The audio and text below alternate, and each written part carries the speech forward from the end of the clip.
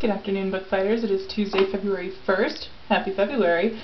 And I read The Truth of the Matter by Andrew Klavan last week. For real this time. I didn't read something else. I actually read this book.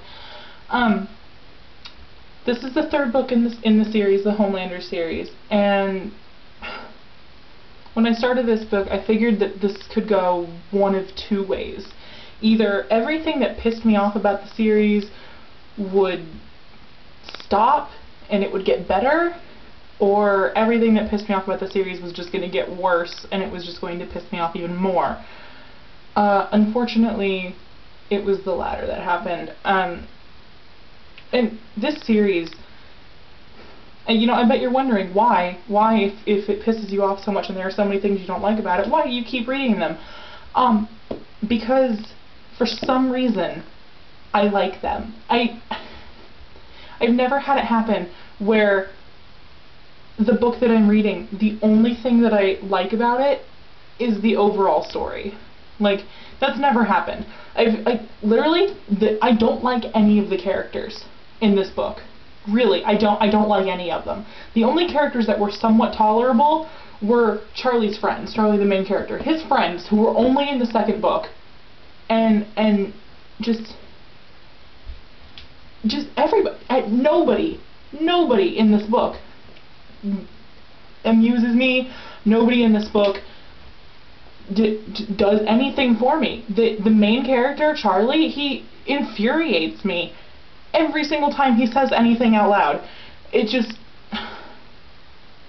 but there's something about the story, and you know, you know what? The writing's not even that good. I, I'm reading it, and maybe it was just really being pessimistic.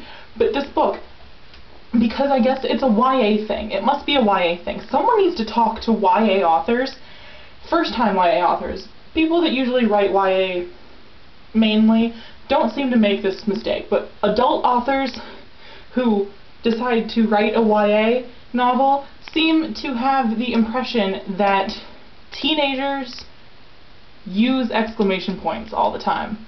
I don't know what that is. It and it's not even a matter of them being used incorrectly because the sentences that they follow, you know, could be followed by an exclamation point.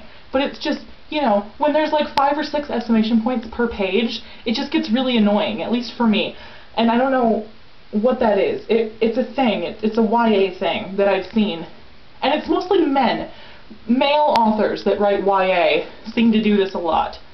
And and to me, it just makes the it just makes the narrative seem really juvenile to have every, you know, other paragraph be like, and the bomb was going to explode! Exclamation point. I had to get out of there fast! Exclamation point. It's just really annoying to me. And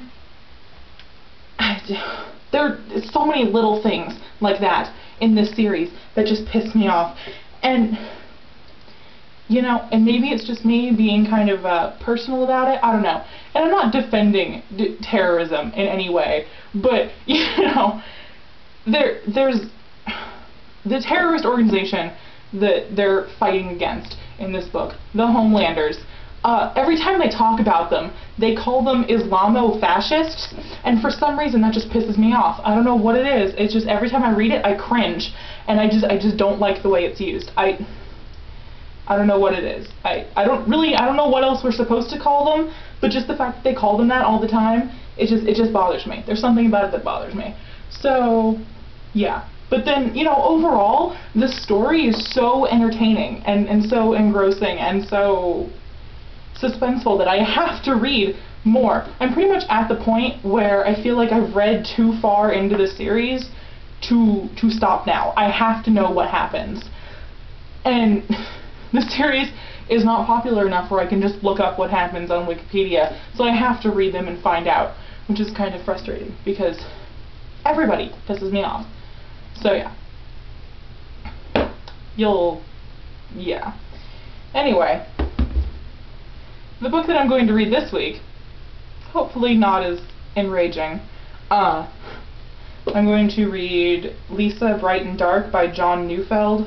It's about a girl with uh, mental illness. So, that's what I'm going to read. Um, Katie's question that Dan did not answer. Dan, you, work with me here. You're the day before me, so I, I trust you to answer the questions from the previous week and remind me what they are. But then you always forget, and then I always forget. But this one I do remember. I believe Katie asked the question that those writer girls were asked, and it was what three books would you bring with you to like a deserted island? Um, and I've thought about it, and one definitely. If I could get away with it, I would want to bring the big collected anthology of the first three Vampire Chronicles, but if that's cheating, then I would want to bring the Vampire Lestat. It's my favorite of, of the first couple um, out of the whole series, so definitely the Vampire Lestat. Uh, my second book would probably be um, hmm, probably looking for Alaska.